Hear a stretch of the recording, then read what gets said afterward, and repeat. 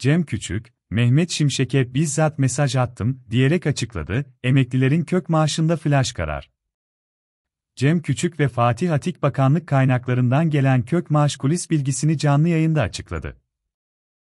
Milyonlarca emeklinin Temmuz ayında alacağı zam oranı %24,73 olarak ortaya çıkmıştı. Ancak bazı emekliler kök aylık sorunu nedeniyle ne kadar maaş alacağını merak ediyordu. Ünlü gazeteci Cem Küçük ve Fatih Atik bakanlık kaynaklarından gelen kök maaş kulis bilgisini canlı yayında açıkladı.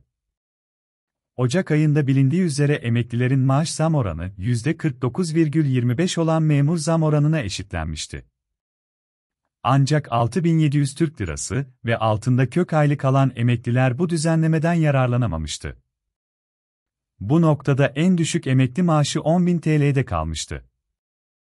4 milyona yakın emeklinin en düşük maaş aldığı ortamda pek çok emekli kök aylık meselesinin Temmuz ayından da devam etmesinden korkuyor. İktidar tarafından bunun düzeltilmesine ilişkin beklenti içerisinde.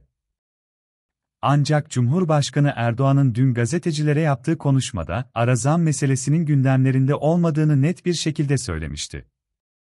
Kök maaş sorununa ilişkin bir düzenleme olacak mı? Sorusu ise merak ediliyor. 6 aylık enflasyon farkına göre Sosyal Sigortalar Kurumu ve Bağkur emeklileri %24,75 oranında maaş zammı alacak.